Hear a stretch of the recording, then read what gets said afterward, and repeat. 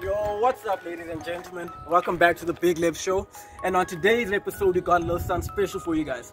Obviously, I'm trying to put the city on, you know what I'm saying? And um, today's episode, I'm featuring a designer who goes by the name of Bokamoso. And today he's gonna show us his brand called Phases 88. Today we're outside his crib. I say today a lot, I'm nervous. Y'all know what it is. Um, we're outside his crib right now. Let's go link up with the boy and see what he has to offer.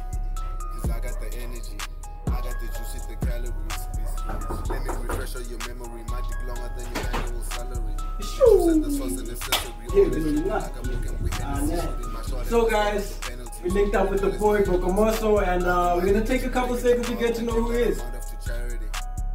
Now that's transparency. We see me, I see all your jealousy.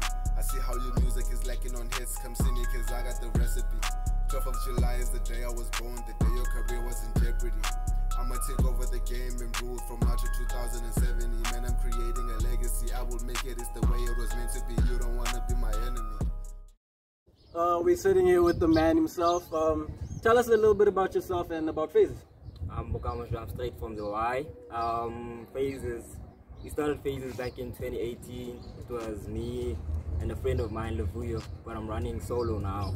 Been running the brand solo for a few months now. Wait, wait, do you have your first collection yet?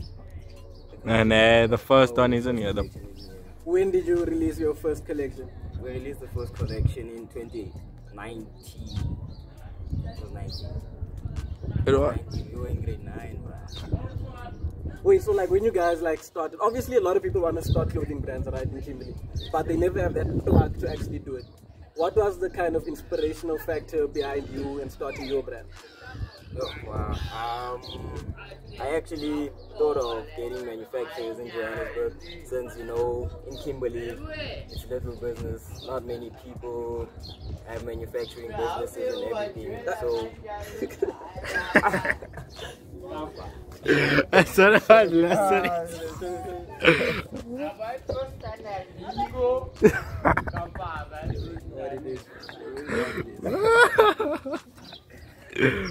Um, doing it. yeah. Sorry for the disturbance. Just pick up where you left off, please. I'm so sorry. Um, what was I saying? Yeah, since they were, I know, I knew that there weren't many manufacturers in in Joanne in Kimberley, and then I hit my cousin up to find manufacturing businesses. Plus, I go to Johannesburg most of the time, and yeah, I thought it could actually work. Do you like initially have like a love for fashion since like you were young, or was it Yeah. something new? My love for fashion actually started in grade eight because in primary my mother used to buy my clothes and I couldn't actually choose what I wanted. So I started choosing my own clothes in grade eight and that's when I started loving fashion. Who's like one of your biggest fashion inspirations? I mean, it's obviously a corny question where people say Jerry Lorenzo and Kanye, but who are yours? Yeah, it's Pharrell Williams, Kanye West. Um, yeah, I know you asked for one, but yeah, it's a lot. It's Brent Faiyaz, Kanye West, Pharrell Williams. Yeah, there are more. Just they on my list right now. So like, what kind of what kind of vibe do you feel like you bring with um, Phases 88? Like, what's different about you guys compared to other brands? Um, we doing Phases is not only a brand, we're actually a movement. Trying to inspire people about brotherhood, sisterhood, and everything. Our friends are actually family. We treat friends like family. So that's actually a movement and not only a brand. How did you guys come up with the name? Phases. Like, um, at that time we were at the mall chilling, discussing opening a brand and stuff, and then we were like, since like we are teens, um, there's actually a song by Nasty C also called Phases, and since we were going through our phases as teenagers, I feel you. exactly. You What? mentioned you mentioned coming from Jozi. um, or going there a lot. Do you feel like you bring any of that kind of steez over to the Y, or do you want like, or are you comfortable with your brand just being something Kimberley centric, or how do you plan to go nationwide?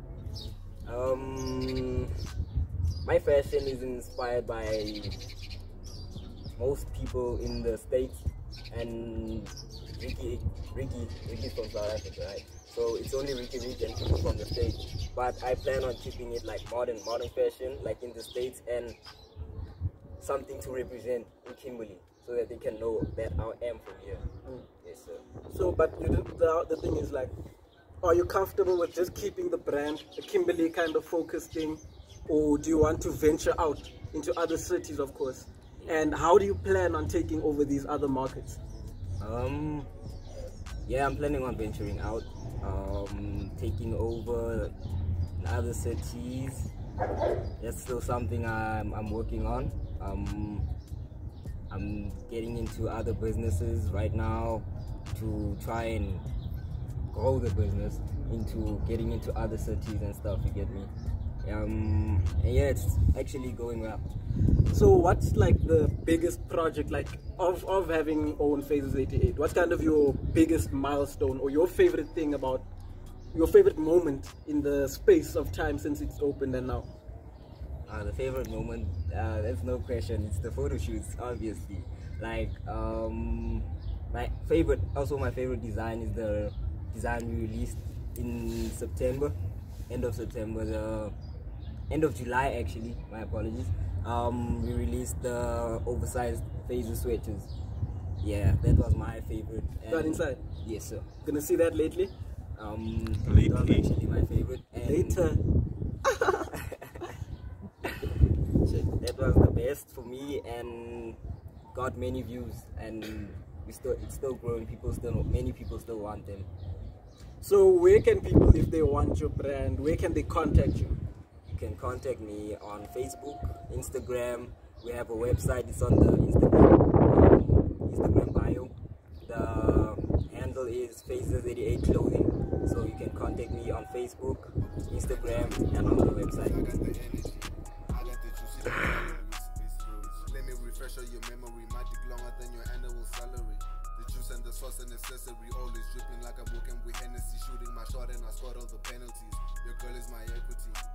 All the money that you're bragging about, I gave that amount of to charity. Now that's transparency.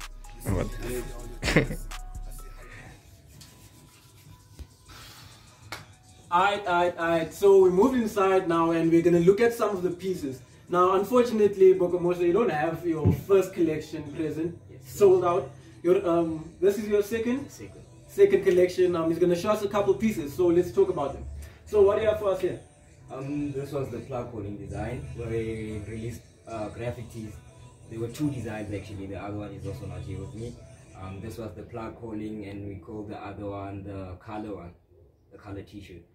Um, it was also they had different colors. It was an alien in the middle, and we all phases. 88 at the back actually. 88 in Chinese language. Oh, dope. Um, yeah, this one has faces at the back and this is plug holding in the front.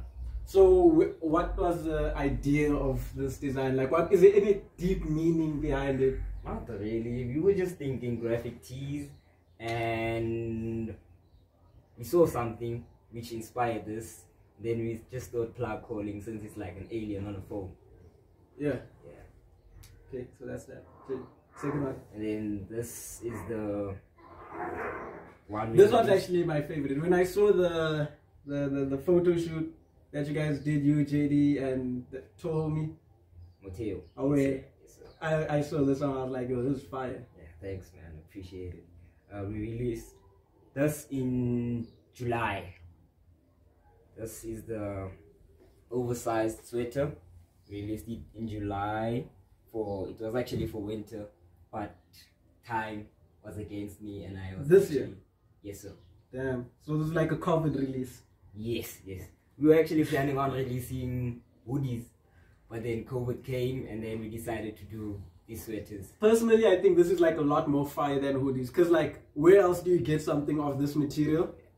And Kanye inspired that. This, yeah, exactly. This is like low key Yeezy season three kind of vibes. Like the material and just, I don't know. It's just fire. Like this, I would have never thought of this. creative. Appreciate, I actually fuck with this. appreciate that. And then the third one.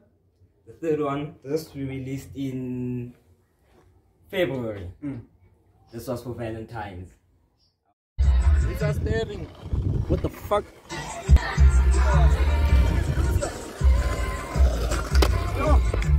Yeah, I told you guys I like to take care of my sons. You know. Hey, It's just it's popping. It's popping. vlog guys. Um, I'm with Mr. Rigger Rig. You must end this. The after party vibe. Everybody, we're back on the Live Show. I just want to tell you guys, uh, Lips, Libs personally accepts, oh no, appreciates the support and the love you guys give him. And thank you guys, man. Thank you guys for everything. We're now on the on the on the skirt. It's the after party. You guys know this is what happens all the time afterwards. Uh, so thank you guys man. Inspire us to do more videos. Or let Lebs do more videos. And just thank you man for the support. Love you guys